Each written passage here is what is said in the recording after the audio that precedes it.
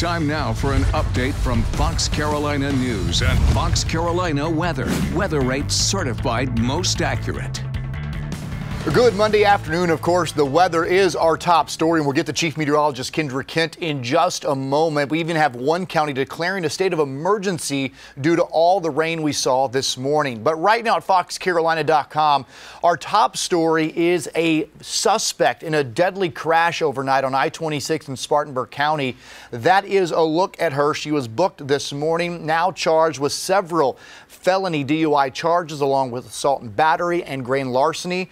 Uh, we're told she stole a SUV off Asheville Highway to gas station, got on I-26 the wrong way and hit another vehicle, killing two people inside.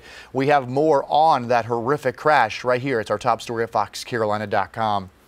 We're also following a developing story out of Pickens County. The Morning News broke this story. It's a double homicide right now. I've been talking with one of the victim's sons uh, I should say brother, who uh, says his brother was there with another man. Both were shot, and a neighbor called 911.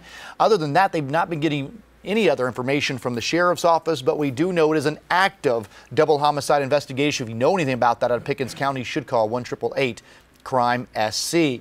And of course, we're following several other developing stories as well. We're talking uh, COVID 19. Uh, also, we're talking about the uh, just really everywhere in the state looking as we're heading back to school this week. A lot of the major school districts, including Greenville County, the state's largest school district, heading back this week.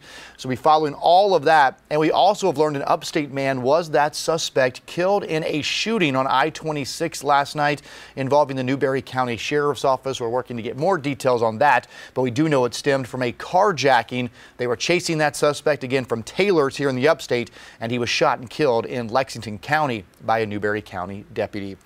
And you can see we have all of these boxes. Uh, they're all active right now. We're watching radar, futurecast, temperatures. And you can see 87 degrees right now in Greenville. And again, we've already seen a lot of rain. We want to check in with Chief Meteorologist Kendra Kent. And I mentioned that state of emergency.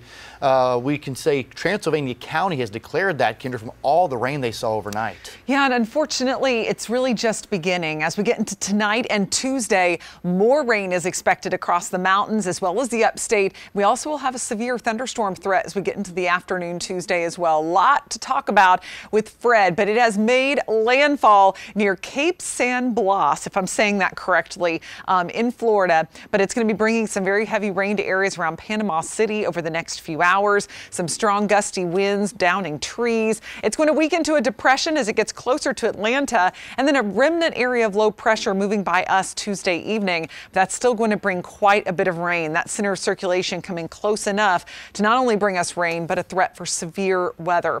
A flash flood watch has been issued for much of the upstate and mountains. We already saw flash flooding this morning, like Cody mentioned.